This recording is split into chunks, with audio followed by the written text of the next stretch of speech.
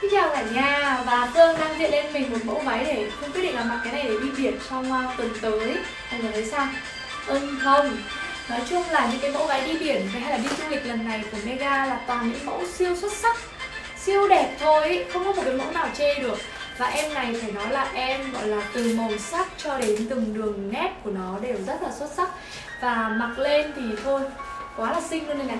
Đó. Em này thì à, như mọi người nhìn thấy là họa tiết của nó là họa tiết những cái bông hoa rất là to. Năm nay thì trend hoa to luôn rồi. Đó, mặc lên thì rất là thời trang và rất là sang trọng. À, Phần phía đằng trước ngực thì được thiết kế theo kiểu như là có chun ở ngay phần cổ này Phối với những cái đường xếp ly. Như thế này. Đó, nhìn nó sẽ rất là bay bổng và tiểu thư nhá. Phần vai thì à, cái đường dây vai ấy lại được phối thêm phần nơ này. Ừ, Phối thêm nơ nhá. Nên là sẽ giúp cho chúng ta che được khuyết điểm ví dụ như khuyết điểm phần à, à, phần à, kiểu mỡ thừa ở nách ấy nó sẽ che hết luôn đây này mọi người thấy không? Đó rõ ràng cũng là hai dây đấy nhưng mà lại siêu che khuyết điểm của chúng ta luôn. Và phần eo được chia rất là cao. Đấy nên là nhìn chân dài miên man